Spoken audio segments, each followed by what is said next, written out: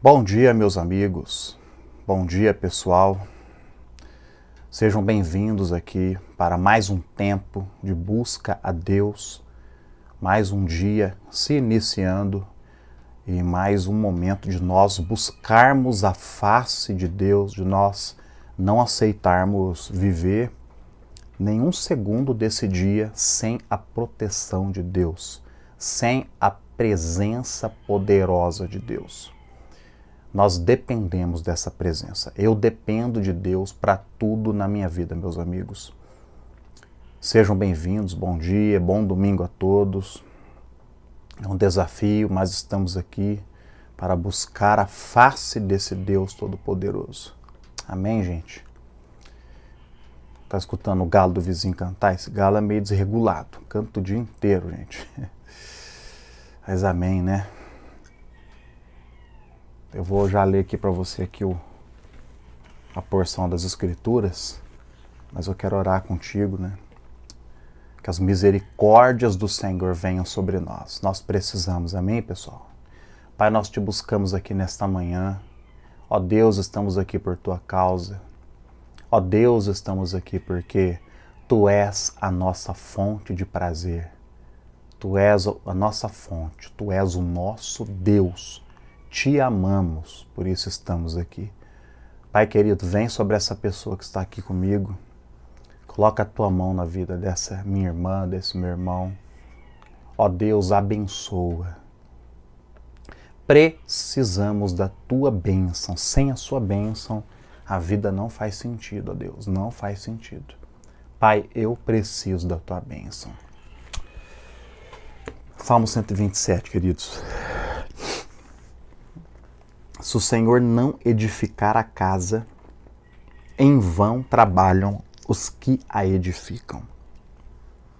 Então nós precisamos, ó Deus, que o Senhor venha edificar a nossa casa, que o Senhor venha edificar a nossa vida.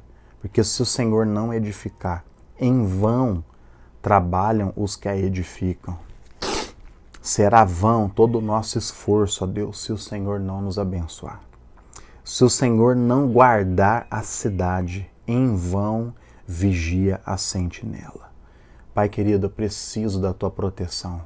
A minha irmã, meu irmão que estão aqui comigo, precisam da tua proteção. Se o Senhor não guardar a cidade, se o Senhor não guardar as nossas casas, se o Senhor não guardar as nossas vidas, em vão vigia a sentinela.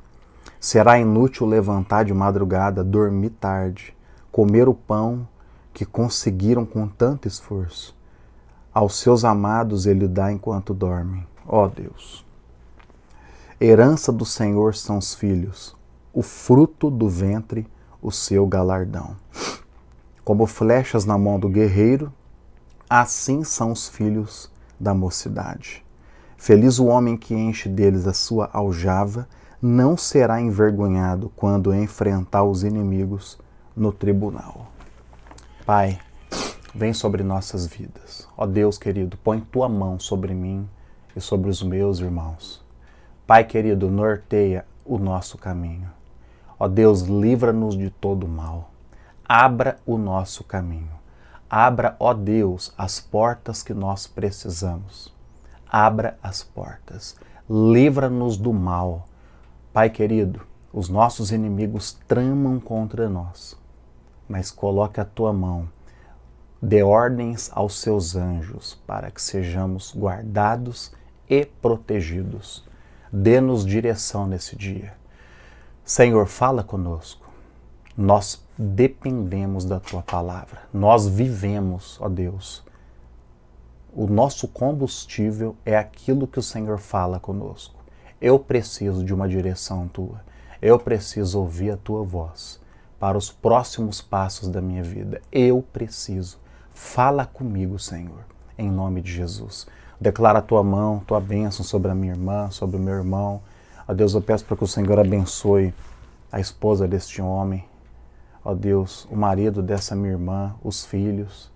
Abençoe a vida financeira. Abra portas financeiras em nome de Jesus. Ó Deus, libera a cura física agora no nome de Jesus e que seja um dia abençoado na tua presença. Eu profetizo isso no nome de Jesus. Amém, meus irmãos. Domingo é o tempo que é mais breve, é mais rápido. Deus te abençoe. Seja um dia tremendo na presença de Deus. Mantenha teu coração o dia todo buscando ao Senhor e confiando naquilo que Ele tem feito, tá? Não sai daqui sem deixar curtida no vídeo, que ajuda demais. Vou ficando por aqui. Deus te abençoe. Espero você até as 10 e meia da noite. 10 e meia da noite eu estou de novo aqui. Um abraço, pessoal.